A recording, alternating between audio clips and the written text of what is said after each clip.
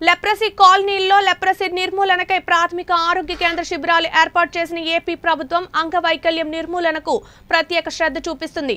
ప్రతి నెల జిల్లాలో పలు చోట్ల ప్రాథమిక ఆరోగ్య కేంద్రం ఏర్పాటు చేసి లెప్రసీ నిర్మూలనకు కృషి చేస్తున్నామని జిల్లా ఆరోగ్య శాఖ అధికారులు తెలిపారు.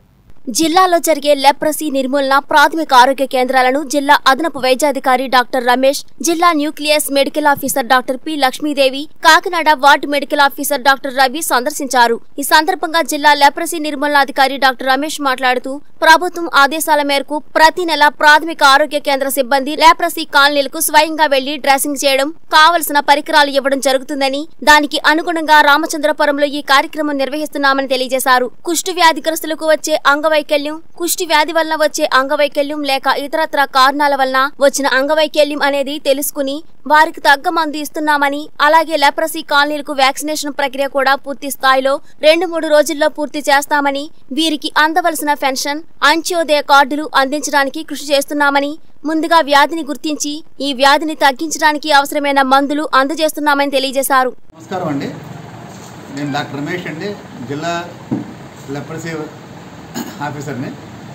ఈరోజు మనం ప్రభుత్వం ఆదేశంగా ఆంధ్రప్రదేశ్ ప్రభుత్వ ఆదేశానుగంగా ప్రతి నెల పదవ తారీఖు ప్రైమరీ హెల్త్ సెంటర్లో డిపిఎంఆర్ యాక్టివిటీ అని మన అంగవైకల్యం ఉన్న వాళ్ళకి అందరికి కూడా వాళ్ళకి సర్వీస్ ఇస్తున్నాము. అలాగే పదకొండవ తారీఖు ఏంటంటే లెపర్స్ కాలనీస్ ఉన్నాయి మనకి ఈచ్గోడ్ జిల్లాలోనే. ఆ కాలనీస్లో పేషెంట్స్తో పాటు వాళ్ళ దగ్గరికి మా స్టాఫ్ వెళ్ళి ప్రైమరీ హెల్త్ సెంటర్ స్టాఫ్ మా డిపిఎంఓస్ వెళ్ళి వాళ్ళ దగ్గరికి ఏంటంటే డ్రెస్సింగ్ చేయటం వాళ్ళకి కావాల్సిన చెప్పులు ఇవ్వటం వాళ్ళకి కావాల్సిన పరికరాలు ఇవ్వడం జరుగుతుంది. ఆ సందర్భంగా ఇది రావడం జరిగింది. అలాగే ప్రభుత్వం మనకేంటంటే జిల్లాలో ఉన్న కుష్టి వ్యాధిగ్రస్తులందరూ కూడా అందరికి కూడా అంటే కుష్టి వీళ్ళందరికీ కుష్ఠవ్యాధి లేదు.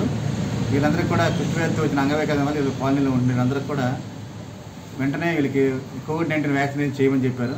దానికి ఏంటంటే డిఎంఎన్సీ గారు కూడా పర్మిషన్ ఇచ్చి ఈరోజు జిల్లా వ్యాప్తంగా ఒక రెండు మూడు రోజుల్లో అందరికి కూడా ఈ కాలనీలో ఉన్న పేషెంట్ అందరికి కూడా వ్యాక్సినేషన్ చేయడం జరుగుతుంది.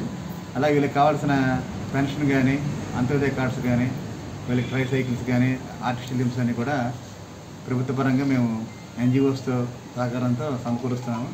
ప్రభుత్వం కూడా వీళ్ళందరికీ కూడా ఏవై కార్డ్స్ అలాగే పెన్షన్స్ అన్నీ కూడా అందుతున్నాయి. వీళ్ళందరూ కూడా గత సంవత్సరం కాలంగా కాలనీలో జాగ్రత్తగా ఉంటూ వీళ్ళకి కోవిడ్ కూడా చాలా తక్కువ మందికి వచ్చింది. డెత్తులు కూడా లేవు మనకి కోవిడ్ డెత్తులు జిల్లాలోనూ. అందరూ కూడా కోవిడ్ ఒకళ్ళిద్దరికి వచ్చింది కానీ వాళ్ళు సేఫ్గా ఉన్నారు. వీళ్ళకి ప్రభుత్వ పరంగా అన్ని అందుతున్నాయి కాబట్టి వీళ్ళు కాలనీలోనే ఉండమని మేము సూచిస్తున్నాము. వీళ్ళందరూ కూడా తక్షణమే రెండు మూడు రోజుల్లో వీళ్ళకి వ్యాక్సినేషన్ అనేది మేము చేయించి వీళ్ళకి మరికొద్దిగా శ్రద్ధగా వీళ్ళకి సురక్షితంగా ఉంచడానికి ప్రయత్నిస్తున్నాం జిల్లాధికారికి ఎన్ని క్యాంపులు నిర్వహిస్తున్నారండి జిల్లా అంతా? జిల్లా అంతా ఈరోజు విశాఖ కాకినాడలో విముక్తి విముక్తి కాలనీలో ఒక వ్యాక్సినేషన్ చేస్తున్నాము ఈరోజు రామచంద్రపురంలో కూడా ఈరోజు ఇక్కడ వ్యాక్సినేషన్ చేయిస్తున్నాము. అలాగే మళ్ళీ రేపు మళ్ళీ సోమవారం కూడా జిల్లా వ్యాప్తంగా ఉన్న కాలనీస్ అన్నింటిలో కూడా తుని అలాగే పెద్దాపురం కాలనీలో కూడా రెండు మూడు రోజుల్లో ఆ దగ్గరలో ఉన్న సెంటర్కి తీసుకెళ్ళి వాళ్ళందరికీ వ్యాక్సినేషన్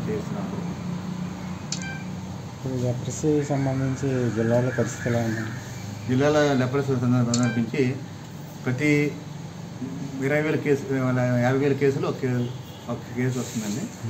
మన ప్రతి పిహెచ్సిలో కూడా ఆ కేసుకి వైద్యం అందుతుంది మల్టీ డ్రగ్ థెరపీ అని.